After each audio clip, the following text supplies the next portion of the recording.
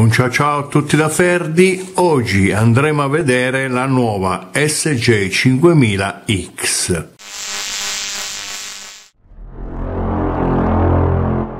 Questa è la nuova SJ Cam SJ5000X, pure questa è dotata di un chipset Novatec 9660 come la tendenza attuale per tutte le action cam di fascia media economica, può registrare col 2K e anche col 4K. Andiamo ad esaminare l'interno della, della nostra scatola che si presenta nella classica forma SJ Cam qui vabbè ci sono tutte le specifiche che potete vedere. C'ha un sensore da 12 mega della Sony MX078 la possibilità del eh, stabilizzatore giro c'ha uno schermo da 2 eh, pollici Novatec come avevo detto il 9660 formato del video in MP4 Va bene, poi lo andremo a vedere meglio queste, queste informazioni, andiamo a vedere la cam eh, solita plastica. Allora, eh,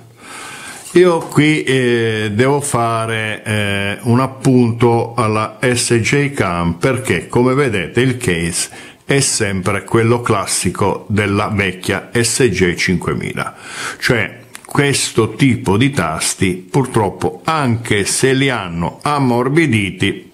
purtroppo presentano sempre il difetto che l'utilizzatore quando viene usata così la cam non riesce a capire quando il, il tasto sottostante eh, viene attivato o no. Questo è un case che viene fornito diciamo attualmente. Questo che vi faccio vedere è un case di una SG5000 di un anno fa. Come vedete nulla è cambiato tutto uguale. Potevano fare di meglio almeno con i tasti potevano mettere dei tasti di nuova concezione tipo new style vedete qui in questo case che sono molto più morbidi e consentono di evitare quel difetto che eh, vi ho detto. Quindi sempre il solito case di vecchio di un anno non credo che ci volesse molto per fare tipo questo con i nuovi style con i bottoni grandi che uno diciamo può utilizzare meglio e molto più comodamente. Che racchiude questa cam che vedete qui. Le eh, dimensioni sono 61 mm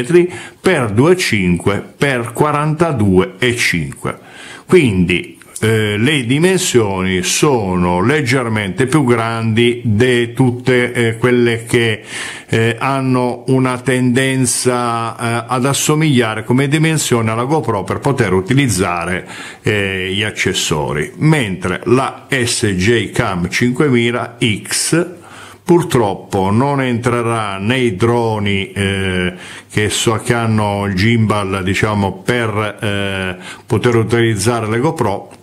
perché le dimensioni come vedete sono leggermente superiori sia in altezza e sia in larghezza. E forse vabbè lo spessore lo spessore potrebbe pure andare però è, è più grande e qui c'è la GTAP 2 che è invece uguale, la eh, AMK 5000S, la Firefly 6S possono usare tutte tranquillamente gli accessori GoPro, mentre questa qui purtroppo ancora mantiene i suoi, i suoi canoni e quindi bisogna usare per forza questo case che a mio parere ormai è obsoleto e andrebbe cambiato. Andiamo ad analizzare la cam, sulla parte frontale abbiamo l'obiettivo, abbiamo il tasto mod che vedete qui, avviciniamoci un po', poi ci sono i due led di notifica, sulla parte inferiore abbiamo lo sportellino che eh, apre, apre il coperchietto per l'alloggiamento della batteria, sulla parte sinistra abbiamo l'uscita HDMI, la presa eh, micro eh, USB per l'alimentazione e trasmissione dei dati e qui abbiamo l'alloggiamento per la micro SD.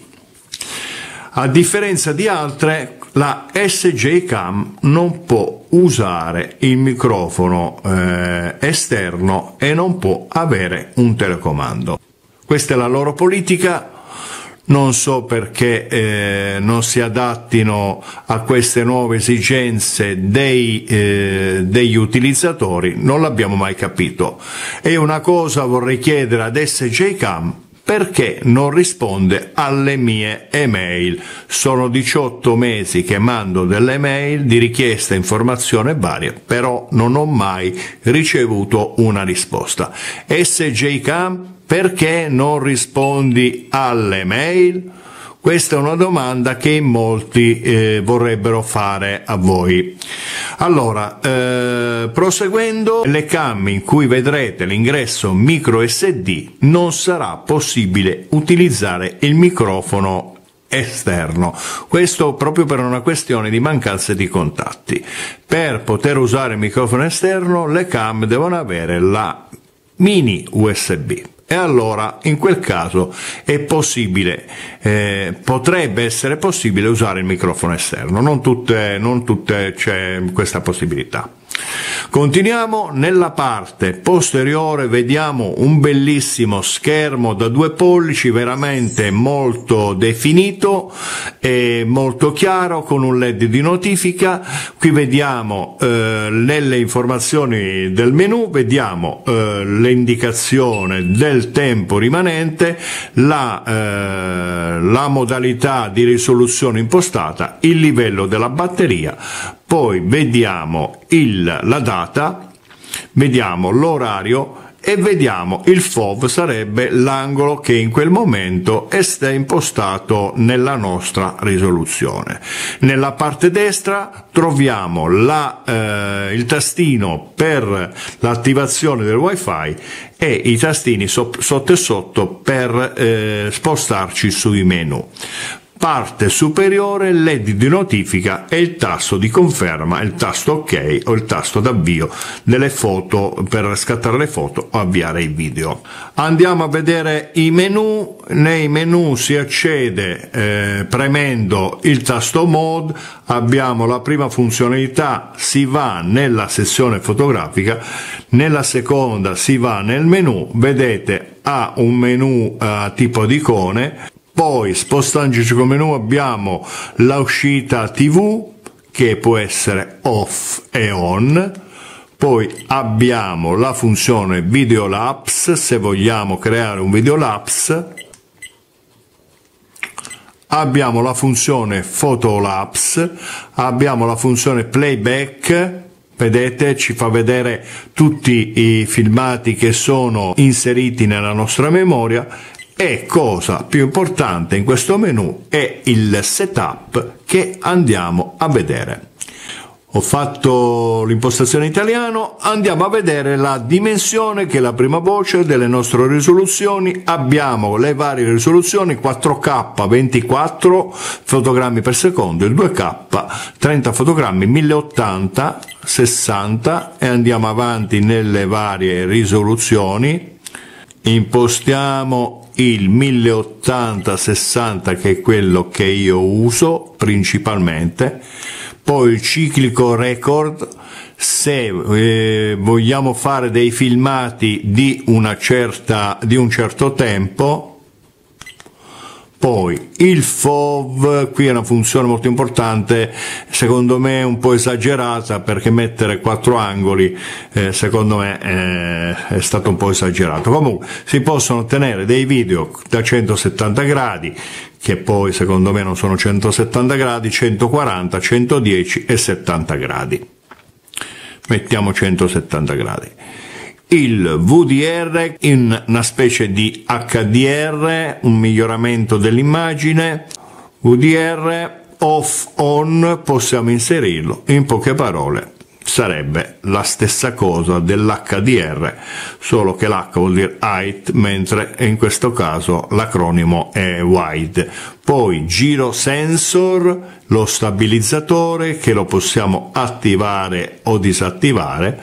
è uno stabilizzatore digitale, poi il sensore di movimento, qui vedete già incomincia a non essere più eh, in italiano lo possiamo abilitare e disabilitare, l'audio abilitato, il volume dell'audio possiamo regolarlo, la stampa della data se vogliamo attivarla o no, l'uscita tv, modo della tv, NTSC e PAL, mettiamo il PAL che è il nostro formato, OSD Mode se vogliamo far apparire i menu nel nostro schermetto, poi c'è lo Slow Movie se vogliamo fare dei filmati rallentati, dimensioni dell'immagine, qui abbiamo il 12 mega, il 10 mega, l'8 mega e il 5 mega. Usiamo il 12 mega, ecco qui, bilanciamento del bianco, luce diurna, nuvoloso, tungsteno, se abbiamo delle eh, regolazioni che vogliamo fare, io di solito lo tengo in automatico, ISO se vogliamo eh, impostare degli ISO in automatico oppure gli vogliamo dare una regolazione proprio manuale, l'esposizione. Se vogliamo aumentare la, o diminuire l'esposizione, poi c'è il continuato che sarebbe autoscatto continuato, self timer come lo chiamano in inglese, l'eliminazione di qualche file, formattazione della, eh, della scheda di memoria, il wifi SSD, se vogliamo cambiare il nome del wifi, questo qui, la password solita il modo macchina se vogliamo usare la cam come dashcam, numero di licenza set se per caso vogliamo personalizzare il menu eh, con qualche dicitura, poi c'è la lingua, data e ora, spegnimento automatico, io non lo voglio fare spegnere e quindi gli metto off, segnale acustico, se vogliamo una conferma mentre premendo i tasti, la, eh, il settaggio della luce, poi lo screen saver famoso, la frequenza della nostra eh, luce, la frequenza della luce, le impostazioni della, eh, delle predefinite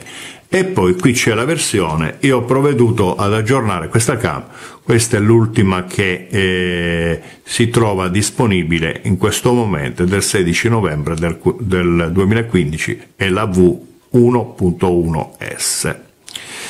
Ora andiamo a vedere come eh, impostare il nostro wifi su questa cam. Attiviamo il wifi premendo questo tastino Ecco, allora abbiamo attivato il wifi che è questo, poi prendiamo il nostro smartphone, eccola qui, questa è la SG5000, ce la troviamo. Allora, abbiamo inserito la password, facciamo la connessione e aspettiamo che si connetta il nostro smartphone si è connesso, poi andiamo sulla, sulla app HD, io uso Connect Your Camera, eccola qui, è perfettamente connessa con, con la nostra cam, come vedete, qui ci sono tutte le impostazioni, vedete, quindi abbastanza semplice. Io non amo usare l'app col telefonino perché mi sembra praticamente inutile, poi sono, sono abbastanza lente, quindi non, non la uso, anzi non, non l'ho mai usata una funzione del genere. Ah, credo di aver detto quasi tutto a riguardo di questa cam. Fra poco eh, io vorrò fare un versus con, eh, la, eh, con le altre cam, con le altre cam che hanno questo, questo tipo di chipset e vale a dire la Firefly 6S e la GTAP 2 e poi verrà usata la GoPro Hero 4 come riferimento per, eh, diciamo, per, per tutte e tre. Ok, allora io vi ringrazio per aver eh, seguito questa mia recensione sulla SJ 5000X, questa sarebbe la Lite, e vi do appuntamento ai miei prossimi video. Un ciao ciao a tutti da Ferdi, ciao ciao ciao!